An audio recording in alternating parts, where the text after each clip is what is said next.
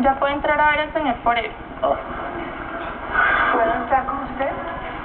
No, tranquila que si yo sé algo, yo mismo le aviso. Tengo un mal presentimiento.